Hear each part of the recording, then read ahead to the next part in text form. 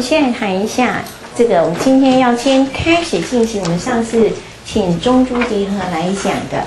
那讲完了之后呢，我觉得有很多的地方，其实同学如果你上过了第十九章，这章应该是第十九章，好，那你应该就很清楚，他讲的地方有一些程度来讲是以偏概全，我不能说他完全错，但是我只能说他这样讲是不够全面的，哈，就是呃不够涵盖全面。他如果要这样讲，不讲不这样的一个结论出来。其实要把前提先讲清楚，先交交代好。好，所以我觉得他这样子上个礼拜，呃，上上礼拜这样子演讲的过程里面，我觉得应该可以让大家有很多的呃困惑。其实我听完之后，我就觉得非常困惑的是，如果租赁这么好，租赁又可以容易贷，然后呢？它又可以满足企业的需求，那银行它有竞争力吗？所以它一定有某某一些的条件没有讲清楚。好，那我觉得租赁当然它有存在它的价值，但是租赁一定是什么？它给的条件，如果我是一个企业，我能够跟银行借钱，我一定选择跟银行借钱。租赁是有融资的没有错，好，但所以说呢，他是借钱没有错，但是。他借钱给的条件一定是相对银行来讲是比较贵的，资金成本会比较高的。好，要不然为什么那个银行还会活得好好的？为什么中间有夹缝中？其实它有点，我觉得租赁有点像什么？银行跟也不能说地下钱庄了哈，就是呃，它是给一些依银行的条件来看，它是借不到钱的。人好，公司来借钱，那既然是这样的前提，他的对为什么银行不给他借钱？因为相较之下，银行是一个比较保守嘛。你给我的，我借钱给你，我可能有有承受比较高的风险的话，我就采我就选择不借你钱啊。所以如果你跟银行借不到钱，那你去跟租赁公司借得到钱，那对租赁公司来讲，它就什么承受比较高的风险，可能会还不起呀。所以他会要求的报酬，就是他给的利率就会相对是比较高的。好，所以这是必然的。好，那我们接下来呢？当然，上次他讲的一些概念里面哈，我觉得有一些地方其实是必须去澄清。我不能，我再说一次，我不能说他讲的全错。但是事实上，他讲这样的一个答案或这样结论之前，他应该有个前提啊。要有个前提说，如果是这样的话，呃，我这样子，呃，我的后面的讲话，啊，我后面给的呃结论也好，或给的一个评论也好，才是比较公允的。好，所以我觉得我们上完了第九章，也许在你上次回忆一下，你上次所听到的中中珠迪和来做的一个呃这个租赁的一个会呃一行业哈，或者是呃它的存在的价值，你就可以有更。呃，更有判断力。好，好，那接下来我们先看一下第十九章哈。那讲第十九章，其实我不太，呃，不太按照它的一个逻顺序哈。我会先讲比较简单一点的哈，因为剩下半个小时，我想比较简单的讲完之后呢，我先去喝个水哈。我们再开始讲比较复杂的。那我先讲股份基础给付的啊。给付的，我们说给付的标的，如果是股票，我们就是资本公积认股权啊，对，资本公积股份基股份基础给付。如果我给付的标的是现金，我就什么？就是负债，股票增值权负债。好，所以呃，你的科目怎么使用，完全还要注意到呢，它的呃给付的。标的是什么？好，所以呢，我们就还要赶快来讲一下租赁会计的部分哈。好，那首先我们要谈，我们先请大家，我在讲的时候，你不用去翻书。我说了，我先不会按照课本的流程，我先来讲一下我们对租赁的，根据它的呃，我们对会我们会计里头对租赁的一个判断，可以分成两类。好。比如说，大家呢，如果不在没有住在学校里头，又没有住在家里，你就到外面租房子。好，所以我们要谈，啊，你租了房子，租完之后，你每期付租金，然后呢，你不租了，东西收一收，啊，房东来点交，那你就走人了嘛，对不对？这种叫做营业租赁。好，我们的租赁在会计处理方式里面。你要先判断一下它的租赁的呃性质。好，我们从会计它的交易的性质里头来决定它的会计处理。好，我刚刚讲到说，同学，如果你在外面租房子，每个月或每一期啊付一次租金。然后呢，你呃租期届满了，你不想租了，你就东西收一收，然后房东来看一下房子有没有什么破坏，啊，没有的话，该付给你的退押金啊就退完了，那就就就再见了。这种呢，我们会计里头叫做营业租赁。好，所以营业租赁，出租人、承租人他所付的钱或收到的钱，我们都叫做租金；承租人叫做租金费用。出租人叫做租金收入，这个租赁物还是属于出租人的，所以折旧是出出租人的。啊，如果你住这个租这个房子的时候，马桶啊，都是马桶不通了哈，马桶不通可能是自己的问题哈。比如说马桶漏水了，好，好，或者是哎天花板漏水了，哎这个呢谁要负责？是房东啊。好，所以这个我只负责付租金，但是这个如果整个使用的过程里面有什么样子的一个问题，都是房东要负责。好，那这种叫做营业租赁，因为这个租赁资产、租赁物都是属于什么？出租人的，出租人叫做房东。好，假设租的是房子，因为其实我们的租赁不限不限于是房子，我们可能住的是什么？动产。像上次那个中中珠迪和他讲的，其实他租的就是动产比较多，好，所以机器啦、交通交通工具啦、哈。运输工具啦，这种都算是哦，都叫他们乘坐的比较多，好。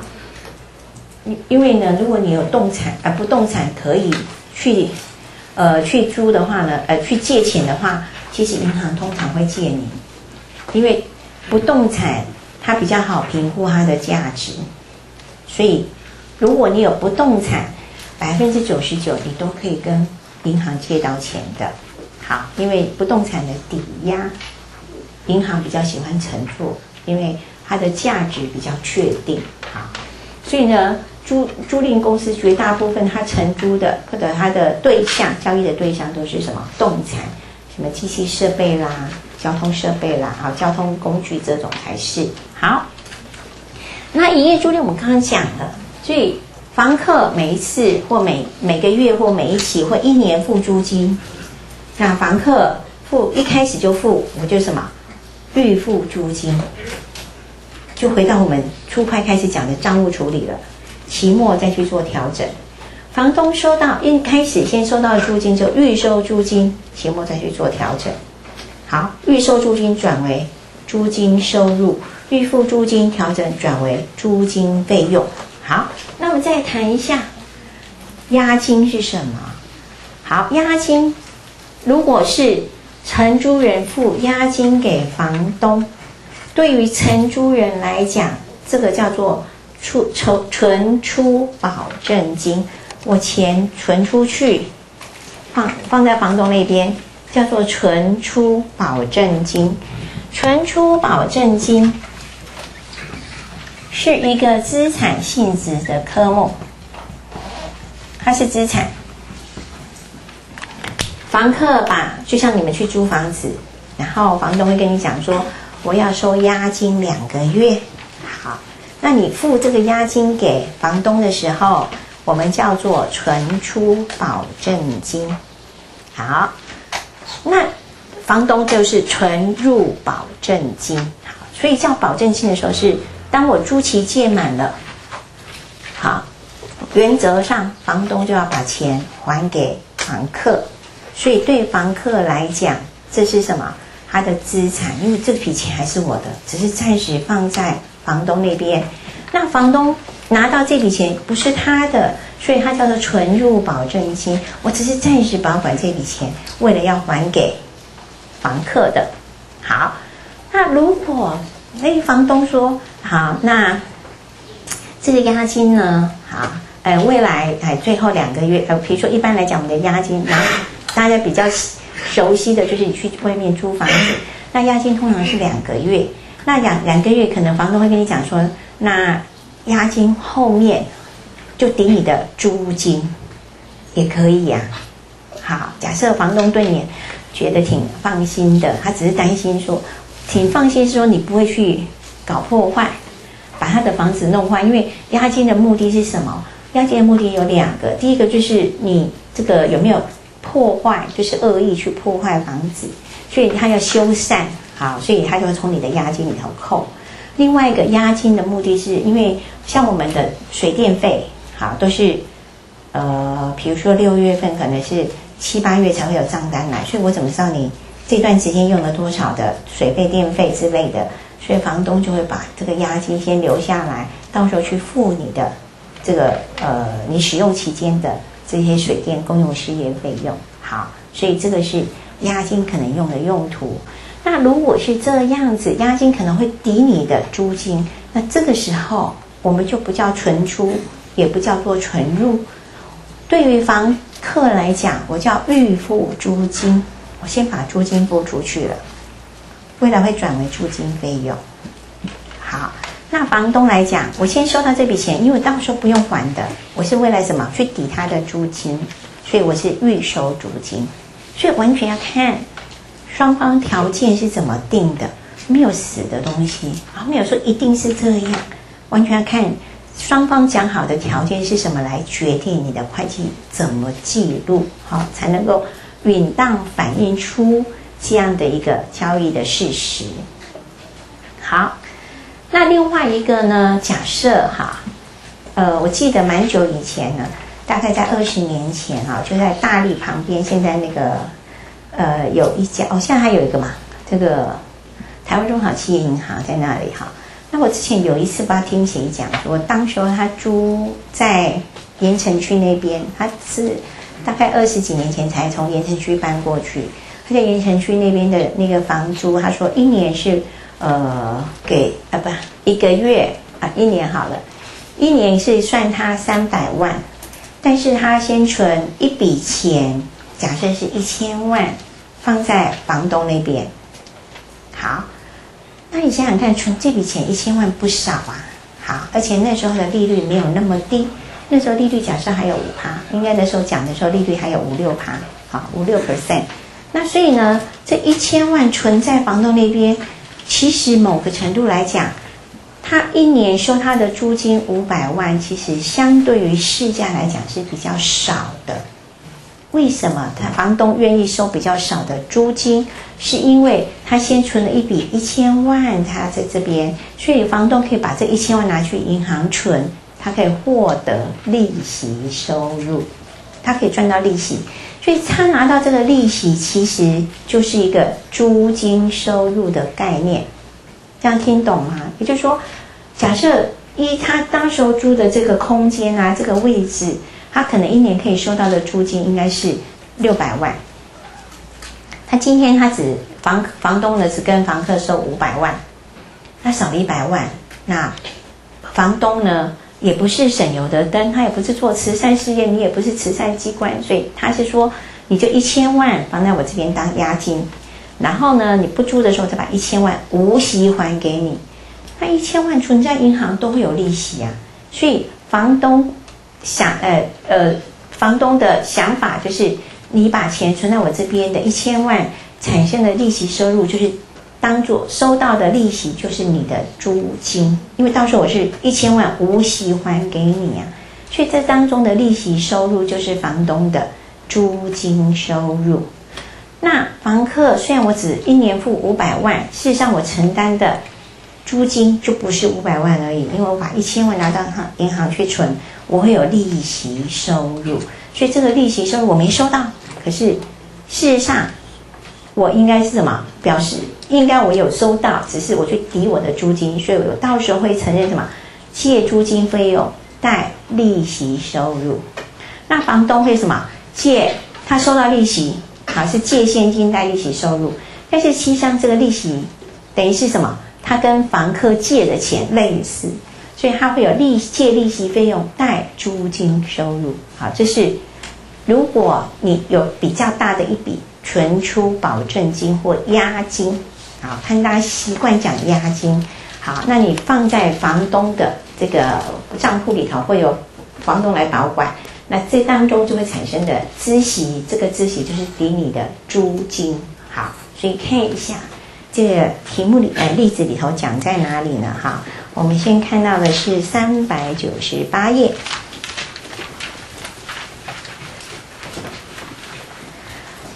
好，三百九十八页的第二个就讲到押租的处理哈，就我刚刚讲的。哈，那我们就不看呃不不讲那个文字，所以我们看一下呢，示例一、示例二。好，讲到这两个例子，我们就把营哎还有示例三哈，因为都是还是营业租赁的，只是讲承租人、出租人。好，那就是把这个部分就先结束，营业租赁比较简单。他说：“永贞公司呢，他承租了机器，然后签订一份不可撤销的租赁合约。好，租期从差六年的七月一号开始，租期三年。那租金的给付方式是每一年的七月一号付十万块。那资产的状况，公民价四十万。好，近期年签八年没有残值。然后出租人的隐含利率跟承租人的借款啊，真额借款利率分别是十跟十二。”好，然后并没有优惠的认购权，也没有优惠的续租权，也没有保证残值的约定。然后租赁期间呢，它的履约成本有承租人支付。好，那我们来看一下，因为这边呢，我们要去判断它是一个资本租赁还是营业租赁。如果我们先讲一下，虽然说我们先从营业租赁开始讲，可是要怎么去判断营业租赁呢？就是。这个租期届满了之后，这个东西就还给出租人。好，那承租人跟出租人之间没有任何其他的协议，也就是说，如果租期届满了，承租人要再去租，那他就是什么？他要跟一般的人去竞争了，就是说，你要付的租金没有特别的便宜，那也没有保障你一定可以优先去续租。好，就是跟一般的条件都完全一样的。那我们就是叫营业租赁。那这个例子里头，它给我们这些条件里面，其实我们就可以判断的出来，它就是一个什么营业租赁？因为租三年，这个资产可以用八年。好，然后租期届届满的时候，它没有优惠的认购权，也没有优惠的续租权。续租的意思，优惠的意思说，百十万块，对不对？你如果要继续租的话，我从十万变成五万。好，一下降一半啦。好，这个是优惠，但优惠不是说十万变五万就叫优惠，一定要所以优惠一定是比当时候相同条件的其他的租赁合约的租金还要便宜才叫优惠。好，所以不是说我十万降为五万就一定是优惠哦，一定要跟他的其他的相同条件的租赁合约，他所付的租金相对于是便宜的，那就是叫优惠。好。所以这些条件里头，我们可以看到，它只是一个什么一般的租赁而已。好，那一般的租赁，你可以看一下，差六年的七月一号开始承租三年，那每年他付十万块的租金，所以他是借租金费用贷现金。好，当然你也可以写借预付租金贷现金。那十二月三十一号他去做调整，那一样，他如果是七月一号写借租金费用，他期末十二月三十一号。它要什么做调整？好，这是书块里面所讲过，我就不去讲了哈。好，那再来，这是呃刚刚看到的一个例子。这个例子虽然给了很多的文字，可是它只是要让你让你去判断它是不是一个营业租赁而已。好，那中间有一个计算，我们姑且先不管它。好。那个，因为未来讲资资本租赁的时候，就会来看他怎么去计算所谓的呃最低租赁给租赁的最低给付值怎么算。好，那在事例二就说呢，他有押租的问题了。好，差六年七月一号呢，他用营业租赁的方式，好，然后前面第一事例一呢没有跟你讲它是一个营业租赁，因为他要你判断。那事例二就直接告诉你它是一个营业租赁，所以表示你不用判断了。好，它就是一个营业租赁。然后现在呢，租租金呢是呃签约的时候支支付的押金三百万，啊，租赁期间。不另外支付租金了，好，那三年之后呢？他就是把就是这个租这个三百万就必须无息清偿，好，无息支付还给那个呃这个永正公司，好，那知道三年期银行的定期存款是二点五 percent，好，所以一开始差六年一开始，他做这个租赁的时候呢，他是就永正公司借存出保证金贷现金。然后对于这个宏基公司呢，是借现金贷存入保证金，因为他是拿到钱的。好，那差六年底的时候，他就必须根据这个银行的存款利率二点五 percent 来设算利息。啊，所以它是蛮简单的，我就不写了。好，你可以看一下呢啊，因为还是七月一号开始，所以三百万乘上点零二五。除二，所以你可以看呢，我差六年底的时候是借租金费用，但是这个费用发生你有没有付钱？没有，因为你是产生利息收入来抵，因为三百万的二点五趴半年的利息是三万七千五百，好，所以永正公司是借租金费用，这三百万到时候无息还你，这当中你不用付租金，有这么好的事吗？当然不是，就是拿三百万所产生的利息来抵你的租金，所以是借租金费用贷利息收入。那对于这个永诶宏基公司来讲，我收到这三百万，我就要给人家利息，所以他是借利息费用。但是他有没有给他人家钱呢？承认这个费用没有付钱，没有，所以他是贷租金收入。好，所以这是呃两个公司的写法。好，到时候还的是。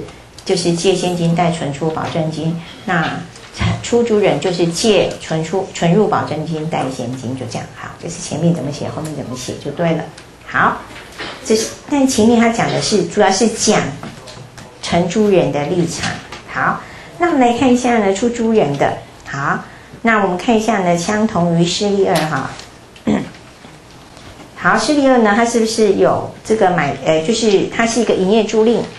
好，示例二呢，就是它是一个营业租赁，好，然后呢，用四十万，好，以四十万购入这个出租的机器，好，就是宏基公司呢是把这个机器呢借给永贞公司，好，他差六年七月一号用四十万买进来这个机器设备，所以是借机器设备贷现金，但是这个机器设备它是要租给人家的，所以它可以借出租资产贷取机器设备，好。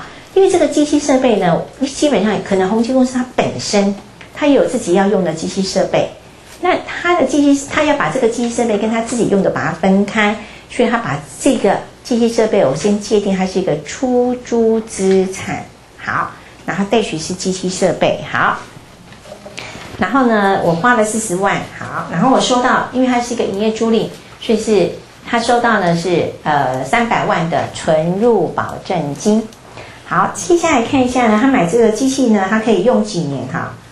它这个机器可以用八年。好，啊，八年呢，第一年它是半年而已。假设直线法啊，四十万，哎，机器八年之后的残值是零，所以直线法提列折旧就四十万除八除二，所以每年提列的折旧费用就两万五。好，因为它是一个营业租赁，所以这个租赁物是属于什么？出租人的，所以折旧费用是出租人要提列。好，所以这个资产是出租人的，所以出租人就要提列折旧费用。好，所以请你特别留意哦，这个资产是归在谁的头上，那就由谁来提列折旧费用。这个是营业租赁，这个租赁物还是属于出租人的。所以是租出租人来承认折旧费用，在他账上承认。好，那他收到的一样，因为他收到租金，呃，押租三百万，他这当中不会收到租金的现金，所以一样跟前面的永贞公司一样哈，所以他等于是跟永贞公司借三百万，他每一年要付七万五千的利息来抵他的租金收入，就这样的。好，所以示例三只是把示例二的出租人的写出来而已。好。看有没有什么问题？这很简单吧？我都没有写黑板，没有写白板，可以吧？可以吧？好，因为这个有点像初会里面的东西。好，初会里面所讲的东西，所以我就不另外去写。所以一开始你只要界定，你只要知道它是个租赁，那你先界定它是什么性质的租赁，它是营业性质啊，营业租赁。还是不是营业租赁？好，那什么叫营业租赁？好，营业租赁基本上比较简单的判断就是，这个租赁物你借的时间不长。第二个，这个租赁物期租期届满，你就必须还给出租人，或者是你要续租也可以，但是你没有特别的条件。好，出租人没有因为。呃，前面是你租的，所以我现在租给你的时候，一定要让你有优惠的续租权，没有好，所以这个我们就把它界定为营业租赁。好，那我们这分未来不管是什么样的租赁，假设租赁是什么，有承租人，有出租人，它的两边会计处理。那承呃，另外这边我要特别提醒你，因为租出租资产。出租赁物是属于出租人的，在营业租赁的时候，租赁物是属于出租人的，所以折旧这个资产是属于谁的，谁就要提列折旧费用。好，所以是这个概念一定要有，因为未来我们在讲资本租赁的时候会用到这样的观念。好。那我们先休息一下哈，待会儿所以这个营业租赁就先讲完了，我们待会儿就要进入这一章的重点。